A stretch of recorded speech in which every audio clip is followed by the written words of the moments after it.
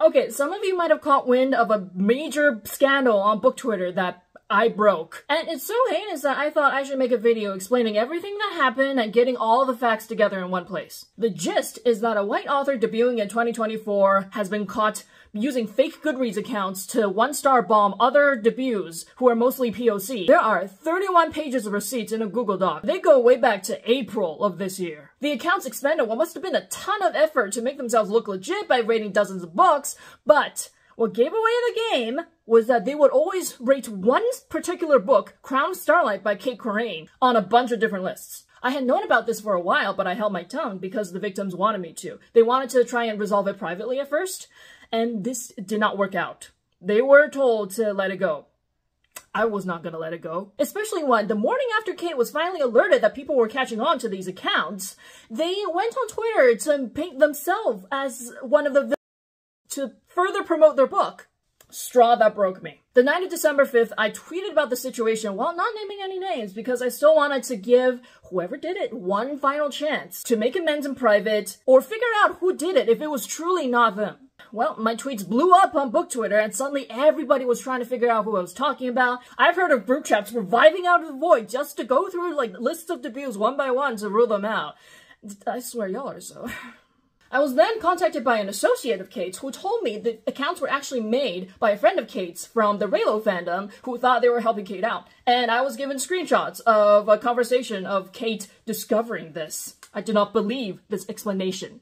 I did not believe this was a real conversation. I found it so stilted, and there was a sudden villain twist at the end on the friend's part. And I didn't notice this until later, but the timestamps jump from yesterday to today in the same screenshot. Like, what is this quantum dynamic time travel conversation? But in a moment, I asked for screenshots of more conversations between Cait and this friend that must go back to at least April, and I would not end up receiving any further evidence. While I was waiting, by the next day, Cait's name was floating around in all the author whisper networks. Finally, in the private Slack server for 2024 debuts, Cait confessed to being the subject of my tweets, but continued with the friend explanation and showed the same screenshots to the entire group. The group did not buy it. They demanded the same thing I did. More screenshots of conversations that go back further than this. Cait could not produce any, even though it had been over six hours since I first asked for them. I don't think they're very good with Photoshop. Anyway, the other debuts asked for this person's Discord. Deleted. Twitter. Deleted. Any proof that they exist. None. Then Cait left the chat saying, oh, it's clear that you guys are not going to believe me, like, no matter what I say, so bye. After that, a friend of Cait, who happens to have albinism, accused one of the victims, a black disabled woman, of deliberately targeting her with the saying, albino snake in a henhouse, in a tweet she made venting about the situation. Except this tweet was posted three hours before anybody knew that this person was Cait's best friend. Now, I'm not in a position to debate whether this was ableist because it's a popular black southern saying. But this was clearly just an accusation to deflect from the main scandal. And I snapped and tweeted out the 31 pages of evidence. It was like I dropped a nuke on book Twitter. It blew up. Hundreds of people were accessing the documents at the same time, reacting live to these screenshots after screenshots of these fake accounts, like one-star bombing like fellow debuts, other Greek myth romances, and just like really popular books in general. The level of jealousy, I swear. Screenshots of Cait's conversation with her friend were also publicized, and that's when the Reylos entered the courtroom and took to the witness stand. They were like, we have cross-referenced our group chats and we do not know of any Lily among us. Furthermore, textual analysis of this conversation, using Cait's old fanfiction as a reference, points to this being written by the same person. What's worse is that the two biggest Reylo writers who became actual published authors, Ali Hazelwood and Thea Guanzon, were among the books that got bombed. Thea especially had been friends with Cait for years. They've met in real life. Thea gave Cait's book a really heartfelt endorsement. And Cait proceeded to rate Thea's book, The Hurricane Wars, two stars with all the fake accounts. Cait also did something similar to me, like asking me for a blurb while rating my book three stars on all the accounts, but it's, it's three stars. It's like, whatever. It's not nearly as bad as what happened to everyone else. The main victims of this are The Poisons We Drink by Bethany Baptiste, So Let Them Burn by Kamilah Cole, To Gaze Upon Wicked Gods by Molly X. Chang, Voyage of the Damned by Frances White, and Mistress of Lies by K.M. Enright. These are all upcoming books, so please support them and their authors after everything they've been through. And also another author really unfairly targeted is R.M. Virtues. He is a black indie author, and Cait one starred his Gods of Hunger series, probably because they're also Greek myth fantasy romances. Please check his books out. The first one, Drag Me Up, is a black queer reimagining of Hades and Persephone, featuring Hades as a black casino owner and Persephone as a trans black aerial dancer. It sounds pretty cool, so like, go check it out. I honestly do not know why Cait made the effort to do all of this while they had a like traditional publishing deal. It, it was super hyped. It is the May pick for Illumicrate next year. It was getting really great reviews from advanced readers. So it's like, what, what? You ever seen someone destroy their own life? Jealousy is a disease, y'all. And if you need to hear another piece of proof that Cait was the one who did this, one of the accounts, CC, can be confirmed to be Cait's by the friends list, and it upvoted Crown of Starlight on the same 37 obscure lists as the other fake accounts. The lists. It was always the lists. So much effort put into this, and their obsession with those 37 obscure lists was what brought them down in the end.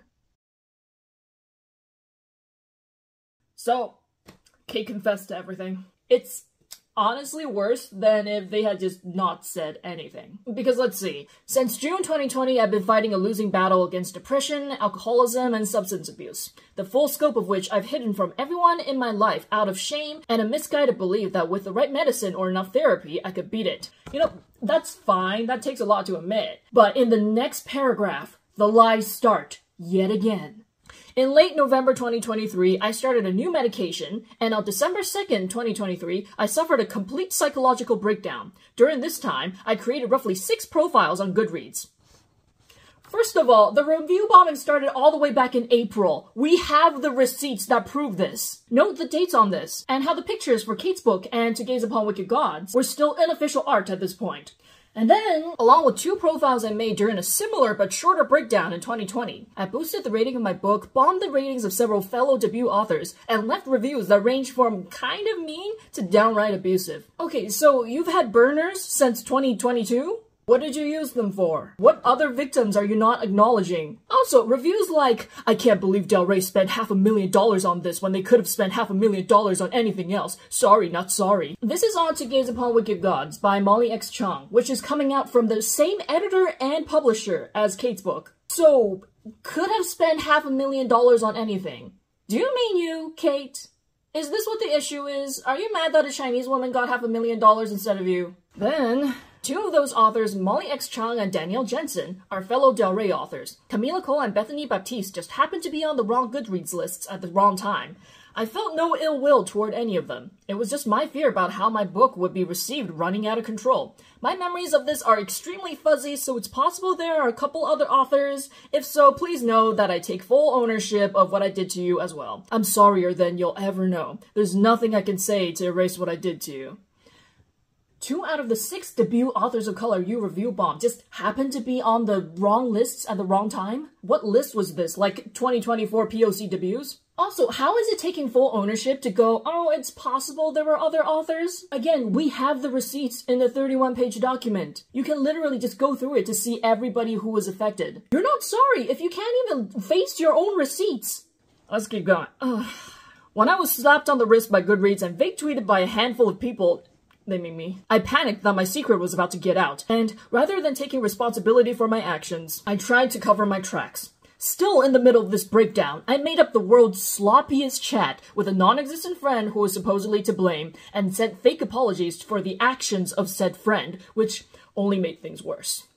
Okay, I'm glad that there's like some self-awareness about how bad this conversation was, but here's something I recently realized. The version of the screenshots Cait sent to the 2024 debut group cropped out a part compared to the version I received from a different source. This part at the end with the friend going, I just remembered something important. A lot of my bad reviews were from POC authors. When the call-out post eventually comes for you, they'll call you a racist too. You're welcome. So, Cait knew they were being racist, knew it well enough to realize that this acknowledgement is better off cropped out for wider dissemination. Yet there's no mention of racism in this entire apology. This is the rest of it. I betrayed the confidence of my agent, my pub team, my readers, and my friends, and betrayed my own deeply held values. I also dragged one of my dearest friends and fellow debut authors into the mud with me when she came to my defense. I'll leave her name out of this so as not to pull her in even deeper. However, if she wishes to come forwards, I'll apologize to her publicly as well. Let me be extremely clear. While I might not have been sober or of sound mind during this time, I accept responsibility for the pain and suffering I caused, and my delay in posting this is due to spending the last few days offline while going through withdrawal as I sobered up enough to be brutally honest with you and myself. I know some of you won't forgive me, and I recognize that you're not required to. No one ever wants to be judged by their worst actions, but that's not always up to us. I'll be reaching out to everyone directly impacted, though that may take time, since I'm checking into an intensive psychiatric care and rehab facility, which means I'll be mostly off social media as I need to give 100% to the program if I want it to stick. All I can do going forwards is to try to live my life in a way that shows you these aren't empty words. Yours, with so much love and the utmost heartbreak, Cait Corrain.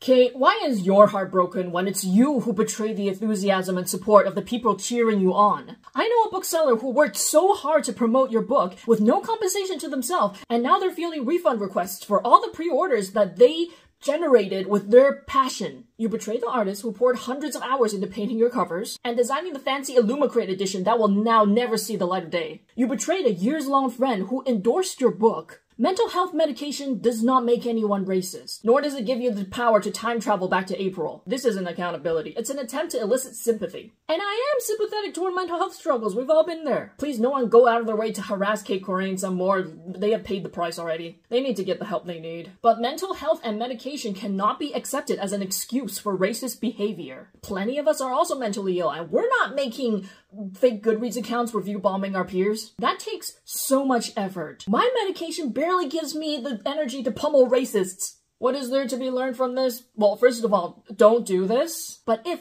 if you were somehow caught in a situation like this, as the perpetrator, take the chance given to you by the victims to resolve this privately, instead of doubling down and manipulating your friends to attack the victims. Cait would 100% still have their book deal and their career if they only apologized and promised to not do this again, as the victims first wanted. Instead, well, next thing you know, you're on the New York Times, you're on NBC, you're on Washington Post, you're on Business Insider, you're on Time Magazine, uh, you're on Forbes. This is not the reason you want to get on Forbes for. This could have been avoided so many steps along the way. This is like a masterclass in how not to handle a PR crisis. Guess what, everyone? Cait Corrain is back with an exclusive interview with the Daily Beast to insist that they are not racist and that it was their ADHD meds and autism that caused them to have a psychotic break with reality that led to the review bombing.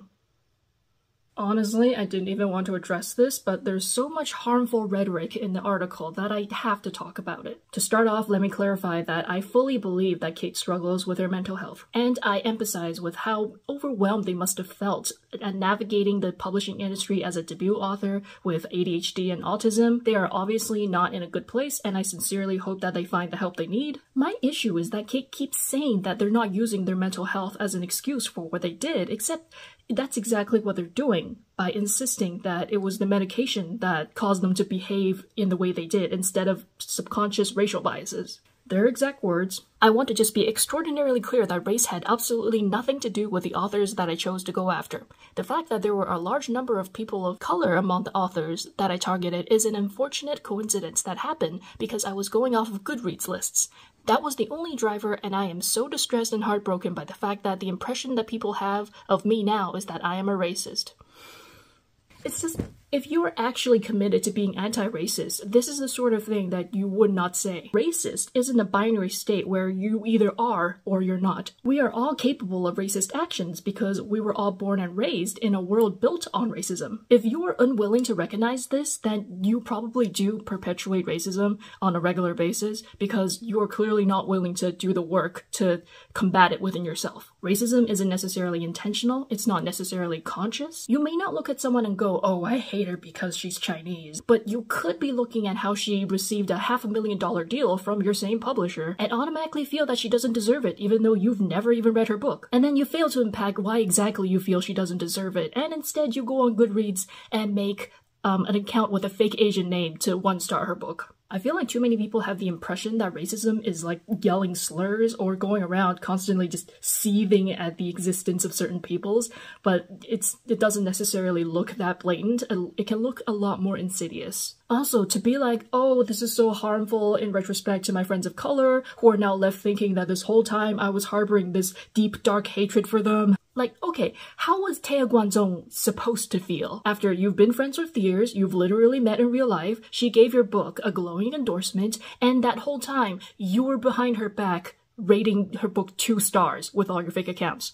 To blame it all on mental health medication is so dangerous because medication is already so stigmatized. Like, imagine someone needing genuine help, but then they see this and get dissuaded by the notion that it could make you go on a racist rampage on Goodreads for months plenty of us take the same medication for the same sorts of conditions, and we don't ever think the sabotage appears. And why is Matthew Perry getting dragged into this? The, the disrespect. It is so insincere and ignorant to go, oh, I'm not racist, the drugs made me act out of character. Like, if you are more concerned at being called racist than racism itself, that is an active hindrance to dismantling racism. I recently had an experience where I explained in detail to someone, a white person, exactly why I felt they were failing me a person of color. And their response to it was, oh, I feel like you're gaslighting me by making it about race. Now, I know this person did not do any of it out of a conscious malice. They were not looking at me like, oh, I, I'm not gonna take you seriously because you are Chinese. But the fact is that they refused to defend me against a fellow white person who was attacking me, and therefore they reinforced a power structure where white people can get away with so much while people of color are constantly expected to take the high road. This is what caused the Cait situation to blow up so big in the first place, actually. I've said many times this could have been solved privately. Instead, it was not taken seriously as a concern, thus forcing me to go public to protect my friends who were among the victims from further attacks. Cait literally would have been allowed to keep going if I hadn't said anything, despite the relevant parties being handed all of the evidence in private. Like, I don't want to be the drama person, it is extremely emotionally taxing, but when the system that we're supposed to rely on refuses to solve the problem, then making a fuss in public is the only way to go. Cait had been review bombing since April last year, despite what this article says about them making the first account after getting on new ADHD meds in June, and writing negative reviews against her will. Like, what makes more more sense. A debut author seeing a fellow debut author announcing a splashy six figure book deal and then getting so jealous that they use one of their fake accounts to one star the book, or that ADHD medication made them lose all grip on reality and drove them to give the one star against their will. What makes more sense here? And then what is this about regretting it the next morning but then being unable to delete it or change it because it would mean confronting the truth about not having autonomy over her actions? Cait had months to delete the fake ratings and reviews. They chose not to. They were not sorry until they were caught.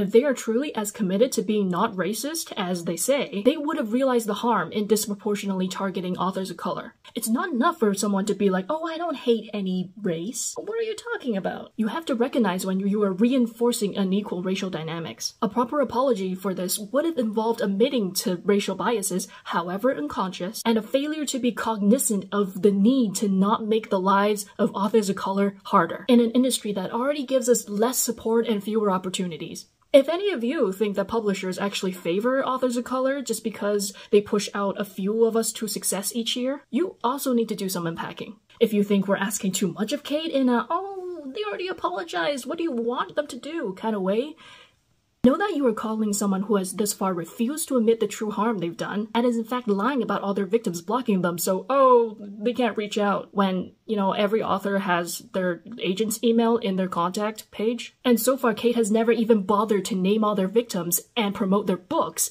even though we all have access to the receipts that show the list of them. The sincere effort is not there. What is there is a really bad attempt to mend their public image because they can't stand being known as a racist. Literally more worried about that than racism itself. Every single person who I've seen make a video about this has done a better job highlighting the victims than Cait. Two of the books, Voyage of the Damned by Frances White and So Let Them Burn by Kamilah Cole, have actually come out since the initial, you know, wave of this. And I highly recommend you go check them out. And please also look forward to The Poisons We Drink by Bethany Baptiste, To Gaze Upon Wicked Gods by Molly X. Chang, Mistress of Lies by K.M. Enright, and The Empire Wars by Akana Phenix, who was not in the receipts because she had been review bombed so badly that she actually contacted Goodreads to remove her book, so it was physically not there when the receipts were taken. She had to completely start over on Goodreads after this came out, so please go support her. The Empire Wars by Akana Phenix.